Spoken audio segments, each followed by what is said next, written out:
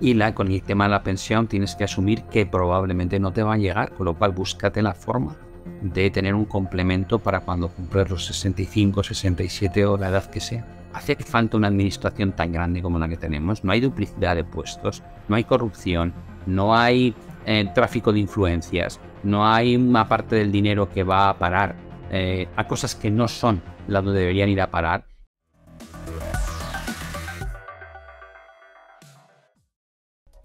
Eh, muchas veces oímos hablar sobre el problema de las pensiones, así, ¿no? En, en medios de comunicación, tal cual, el problema de las pensiones. ¿Podríamos, ¿Podrías tú decirnos con nombre y apellidos cuál es ese problema que tienen las, las pensiones? O sea, porque muchas veces dicen, no, es que esto es como un esquema Ponzi, demás, pero al final es un problema de casi de sostenibilidad, ¿no? Del, propio.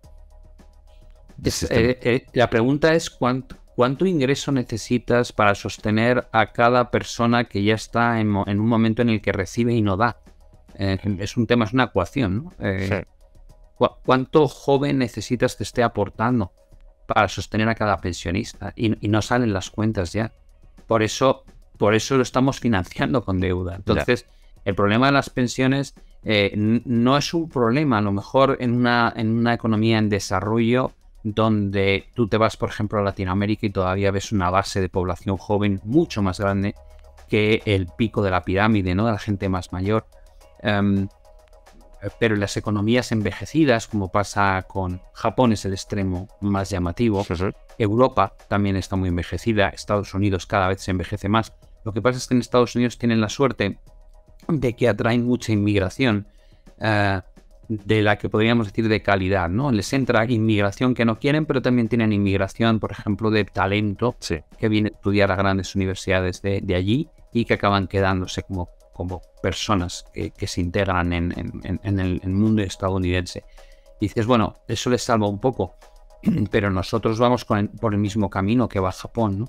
Eh, tienen muy difícil solución. Eh, yo creo que el tema de la pensión, yo personalmente a mis hijos que están empezando pues, su carrera profesional les digo, no contéis con, o sea, si luego está fenómeno, pero no contéis con que vais a tener pensión, tenéis que montar vuestro propio plan de pensiones, tenéis que empezar a destinar una pequeña porción de lo que ganáis al ahorro y ese ahorro y saber invertirlo. Y ellos me dicen siempre lo mismo, es que no tengo suficiente para ahorrar. Digo, bueno, pues aunque te parezca mentira, aún así tienes que ahorrar. Claro. Ah, es, es, una pelea muy compleja, ¿vale? Eh, entre lo que los chavales jóvenes te dicen, es que tú no entiendes, digo, no, perdona, es que en nuestra época también teníamos dificultades, lo que pasa es que tal vez teníamos una, capacidad de sacrificio que era distinta. Si yo me tenía que ir a una hora y media de donde trabajaba para poder tener una casa que me gustase, me iba. Y yo, por ejemplo, noto en, en, ciertos círculos de los que conozco, no digo que todos los jóvenes sean así, noto un poco de exceso de comodidad, ¿no? Es como, es que yo no quiero perder, digo, ya, es que entiendo que no quieres perder privilegios, pero tal vez no te queda otro remedio. es un, no, te olvides de esto, ¿no? De decir, si quieres seguir viviendo igual que vivías bajo mi techo, eso te aseguro que va a ser imposible, al menos al principio. Tienes que asumir que ese coste esté ahí, ¿no? Y la, con el tema de la pensión tienes que asumir que probablemente no te va a llegar, con lo cual búscate la forma de tener un complemento para cuando cumples los 65, 67 o la edad que sea. Hacer tu propio plan, sí. Eh, entonces, eh, por acabar con este bloque de, pensiones, eh, bueno, ahora ya sabes que han puesto todos los trabajadores no autónomos asalariados este llamado mecanismo de equidad intergeneracional, ¿no? tanto a personas que trabajan como también a las empresas que tienen que pagar una, un tanto por ciento. ¿Esto es un parche o puede ser parte de, una solución para, para, bueno, para al final recaudar más, ¿no? que es de lo que se trata, recaudar más para tener más esa hucha de las pensiones que hubo un momento y al final se, se, voló, voló, vamos. Sí, bueno, digamos que a mí lo que me da rabia no es que recauden más, eh, sino en qué gastan la recaudación. Eh, yo el otro día hablaba con uno de mis hijos que me decía, pero, pero cuéntame un poco, digo, mira, hijo, cuando vamos a un restaurante que es muy bueno y te cobran una pasta, si comes bien, yo no tengo problema. Es decir, la sensación de decir, bueno, me va a costar mucho, pero es que la calidad de lo que estoy comiendo es espectacular, por lo cual lo entiendo. Eh, lo que me da una rabia tremenda es cuando voy a un restaurante, me cobran no a lo mejor lo mismo que en el restaurante bueno, pero no muy distinto, y luego me dan de comer como para andar por la que dices, no, esto no. Bueno, pues a mí me pasa con los impuestos algo parecido, ¿no? Y con este tipo de, de soluciones que implementan me pasa un poco parecido. Es como, Si no tengo problema en, que casi la mitad de mi sueldo vaya a sostener a la gente que tiene menos necesidad. Lo que me da rabia es que creo que estamos todo el día hablando de la recaudación y estamos hablando muy poco de qué hacemos con la recaudación. Y entonces ahí te podrías meter a abrir un melón muy complicado, ¿no? De hace falta una administración tan grande como la que tenemos. No hay duplicidad de puestos, no hay corrupción, no hay eh, tráfico de influencias, no hay una parte del dinero que va a parar eh, a cosas que no son las donde deberían ir a parar.